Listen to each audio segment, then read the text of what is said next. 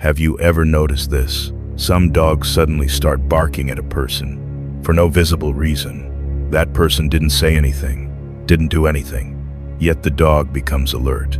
This is not confidence. This is not aggression. This is a sign. Dogs don't experience the world the way humans do. They don't just see it. They smell it. They hear it. They feel it. Dogs have over 300 million smell receptors. Humans have only 5 million. That means when you feel fear, your body releases stress hormones like cortisol. These hormones leave your body through your breath, sweat, and skin. You don't notice it, but the dog smells your fear. Dogs can also hear tiny changes.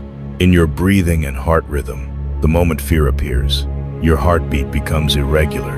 The dog detects this before your brain does. A dog's nervous system is finely tuned to emotions. They read body posture, muscle tension, and micro movements. You may think you are calm, but your body has already told the truth. That is why police and military dogs are trained not for strength, but for fear detection. Scientists have officially identified around 2 million species on Earth. But can all dogs do this? No.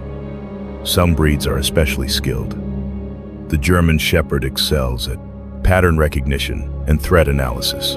The Belgian Malinois has extreme focus and elite military-grade detection ability.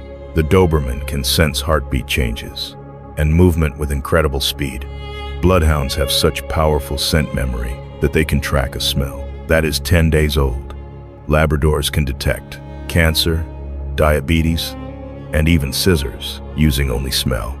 Dogs are not just pets, they are walking biological scanners. And the most unsettling truth is this, a dog does not judge you by your face. It judges you by what is happening inside you.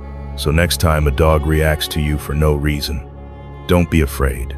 Maybe it sensed something you haven't realized about yourself yet.